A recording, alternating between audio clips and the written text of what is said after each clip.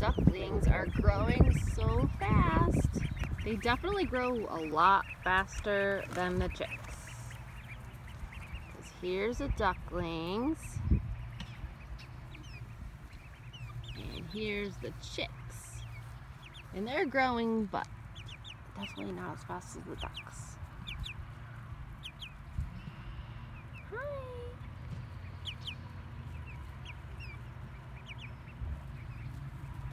Finally a nice day out, so they're having fun running around and eating bugs, exploring.